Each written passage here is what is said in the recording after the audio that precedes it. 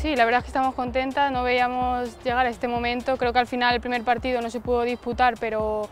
pero bueno, yo creo que todas estamos deseando debutar en el Puchades y con toda la afición. Yo creo que el resultado que se vio el otro día reflejado no es el que realmente merecíamos, así que yo creo que el equipo salió con,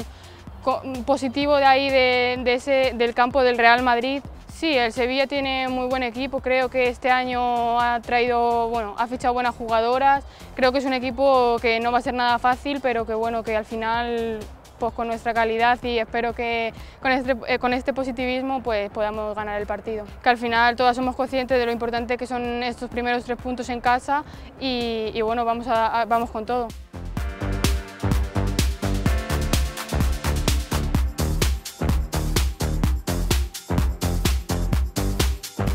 Al final quieras que no, cuando la gente te, te, anima, te da un empujón muy bueno y bueno, sobre todo estoy contenta por debutar aquí en casa. Sí, bueno, desde el día que llegué aquí todo el mundo me ha dicho que es increíble, mm, yo, o sea, pisar el campo, ya verlo, se ve que es increíble, con el equipo, con todas, al final pues va a ser un día especial.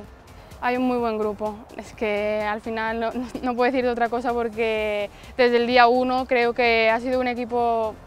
muy compacto, eh, dentro, fuera y al final pues eso hace la unión, que el equipo sea fuerte. Tenemos mucha confianza con ellos y al final eso hace que, que todo sea más fácil.